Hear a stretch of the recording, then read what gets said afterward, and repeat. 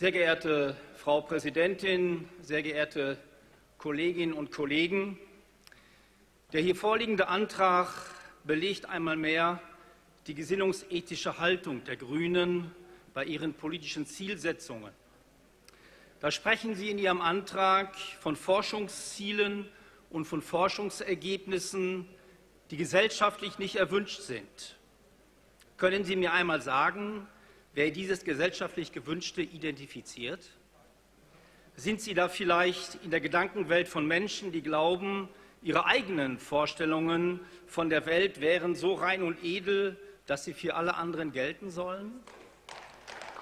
Sind wir da vielleicht bei Rousseaus Volonté générale und dann natürlich wieder bei den Jakobinern und ihren ideologischen Nachfolgern, die glaubten, den allgemeinen Volkswillen zu kennen und ihn mit den unterschiedlichsten Gewaltmitteln durchsetzen zu dürfen?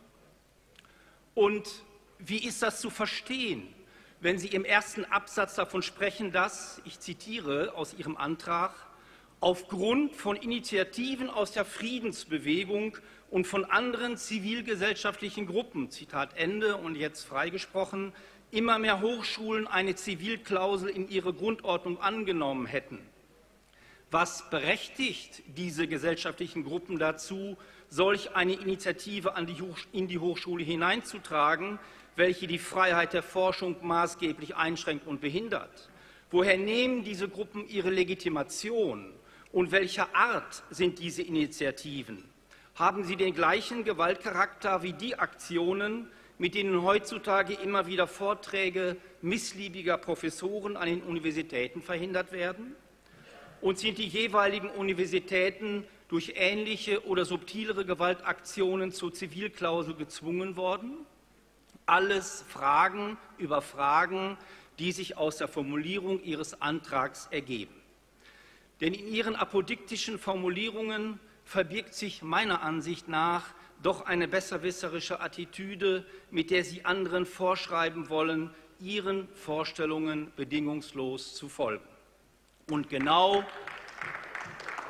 und genau hier leisten wir Ihnen von der AfD Widerstand, und wir werden die Freiheit gegen Ihre Gängeleien verteidigen.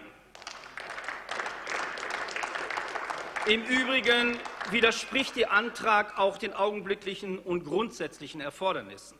Zum einen sagen Sie doch selbst, dass die Welt von internationalen Krisen und bewaffneten Konflikten geprägt ist.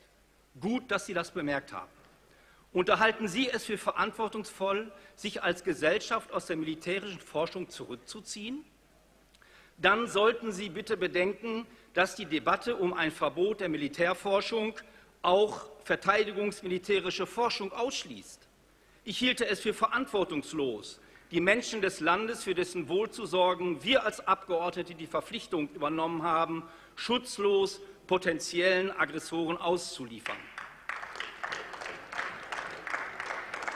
Aggressoren auszuliefern, die sich einen Dreck um unsere Friedensliebe kümmern und alles daran setzen, militärische Überlegenheit zu generieren. Verantwortungsvolle Politik wird alles tun, um die Wehrhaftigkeit des eigenen Staates aufrechtzuerhalten. Und dazu gehören auch Forschungen im militärischen Nutzbereich. Zum anderen lassen sich Forschungsprojekte nicht immer genau den zivilen oder militärischen Bereich zuordnen. Denn die Entwicklung von Waffen beschränkt sich nicht auf ihre gezielte Forschung. Waffen können auch das Ergebnis einer Forschung sein, welches am Anfang noch nicht absehbar war, das betrifft weniger die anwendungsorientierte Forschung, aber durchaus die Grundlagenforschung. Zum Dritten ist nicht die Forschung die Quelle des Übels und ihre Ergebnisse, sondern die jeweilige Gesinnung, mit der man das Erforschte einsetzt. Wissen ist zunächst einmal gesinnungsfrei. Es ist nicht per se gut oder schlecht. Und Waffen sind es auch nicht. Der Einsatz von Waffen kann dem Schutz dienen oder der Verfolgung böser Absichten. Ja, man kann ja bekanntlich sogar ein Auto bewusst einsetzen, um zu töten.